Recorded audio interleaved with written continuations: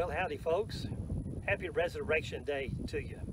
What a great day Easter is as we stop and think about what it means to us and for everyone who will trust in the risen, the resurrected Lord. As you can see today, I'm standing out behind our main building in front of the three crosses. This is where we normally have our Easter sunrise service when we can meet together. But since we can't do that right now because of the, of the uh, pandemic, I wanted to make this a recording today in front of the crosses as if we were having our service out here. So that's why we're in this place. As you look behind me, you can see that the cross here is empty. So also is the cross that Jesus was crucified on. It's empty. The tomb that he was buried in is empty. We serve a risen, resurrected Lord, and we're so thankful for that. As you can see, I have a glass of juice in my hand. There are at least a couple different ways that you can look at this. Some people would look at it and say, well, that glass is half empty. Others, more optimistically, would say, that glass is half full. Which way would you look at it? Now watch this.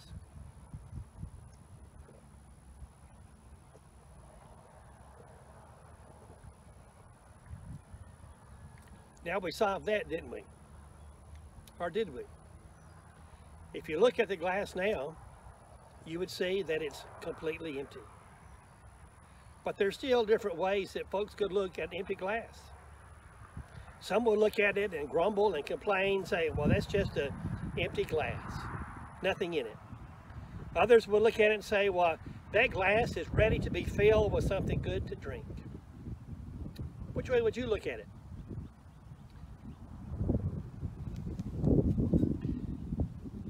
You know, that's the way it is with Scripture too. We can look at Scriptures and read what the Bible says and we might look at it in different ways. That's certainly true of what happened on resurrection morning. We're going to talk today about three people who went to the empty tomb and see how they looked at it, what their thoughts were on that first Easter Sunday. I want you to listen to what the Bible says in John chapter 20, beginning in verse 1. John said, Early on Sunday morning, while it was still dark, Mary Magdalene came to the tomb and found that the stone had been rolled away from the entrance. She ran and found Simon Peter and the other disciple, the one whom Jesus loved. She said, They have taken the Lord's body out of the tomb, and we don't know where they have put him. Peter and the other disciple started out for the tomb. They were both running, but the other disciple outran Peter and reached the tomb first. He stooped and looked in and saw the linen wrappings lying there, but he did not go in. Then Simon Peter arrived and went inside.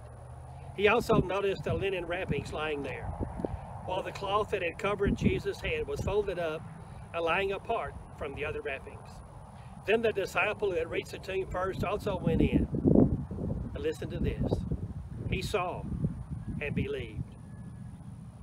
For until then, they still hadn't understood the scriptures that said Jesus must rise from the dead. Then they went home. On the Sunday morning after Jesus was crucified, Mary Magdalene went out to the tomb, to the grave where the body of Jesus had been laid. When she got there, she found that the stone had been removed. She was afraid that someone had gone in and stolen the body, taken away the body of her Lord, and she had no idea what they would have done with it. So she ran back to the village and found two of the disciples, Peter and John, and said to them, Somebody has stolen the body. we don't know what they've done with him. Then Peter and John raced to the tomb. Before it was over, all three of these people looked at an empty tomb. But they looked at it in different ways. Mary, who got there first, looked at it, and I just imagine that she was sad, really sad. Since the stone was gone, she just assumed that the body was gone, and she had no idea what had happened to it. the body of her Lord, the one she loved so much. Surely it was not in the tomb. The stone was gone. Where's the body? Mary was sad. Peter got there and went inside. He saw the grave clothes lying around where they had been when the body was in them. The grave clothes were still neatly in place. The napkin, the headpiece, was still as if it were twirled around the head of Jesus. The body had not been stolen. If it had been, the grave clothes would have been disturbed, but they were there in perfect order. As Peter looked around, maybe he thought, wow, this, this is curious. I wonder, I wonder what really happened here. But then John got there. John finally went on inside. The Bible says that John looked, he saw, and he believed. We don't know exactly how much John believed or understood at this point, but I think he believed that Jesus had risen from the dead. The disciples were told that he was going to rise. Jesus told them that. But before this point, they didn't believe. They didn't understand.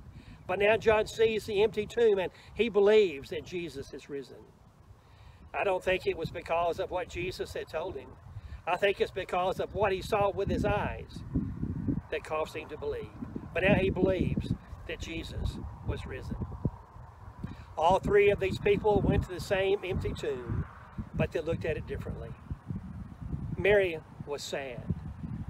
Peter, I think, was curious. But I like John's response. John saw and believed. I think that's pretty much the way that people respond to the story of Jesus and the resurrection today. Some are sad because of what he went through during the crucifixion. Others are curious. They wonder, well, what all really took place at that time? But others, like John, hear, they see, and they believe.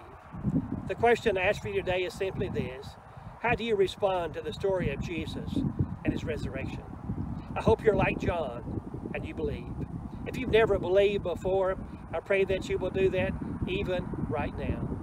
If you have never believed in Christ, if you've never trusted Him as your Savior and Lord, you can do that right now, wherever you are. Would you simply acknowledge that Jesus is God's Son? He died on the cross and was raised again. Would you ask God to forgive you of your sins? Would you open up your heart and life and invite Jesus to come in? He's promised that if you'll do that, He'll come in and be your Savior and Lord. Then you'll have the joy of the resurrection that we have today. Would you pray with me? Lord, thank you that we serve a risen, resurrected Lord. The cross is empty. The tomb is empty. Jesus is alive forevermore. And he's ready and willing and waiting to accept anyone who asks him, who invites him to come into their heart and life. He's ready right now to do that. Father, I pray that those who might be listening right now, who've never accepted Christ as Savior, they will do that right now. Thank you for making salvation possible. Thank you again for a, an empty tomb. In the name of our risen Lord we pray.